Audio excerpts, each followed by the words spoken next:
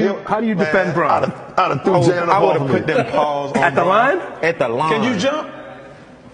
I ain't never been mossed in my career. I done been. You never been mossed? Not mossed like ooh on Like my did- head. no, not like that. Never. I don't know if you heard him. Bron would have did that Jalen. on me. He said- Bron, you wouldn't have him. mossed He me. said he I put the would've mossed paws on him at the line of scrimmage. Everybody in the NFL locker room say the same thing. They say, yeah, Bron would have got strapped if he was in the league. They say you picked the right sport. for Really? sure. I like I it. don't Yeah. know. Every- Everybody in the locker room, we talking about it. Man, that- me personally, many- though, how many- I would've hey, put how many- Bro, how- you six It's nine? not. It's not. Yeah. Six nine, It's not six many. It's not many in your said- locker room that Andy, can be you able to strap me one? You said, you said you said you you six nine. Six nine. I may have played off.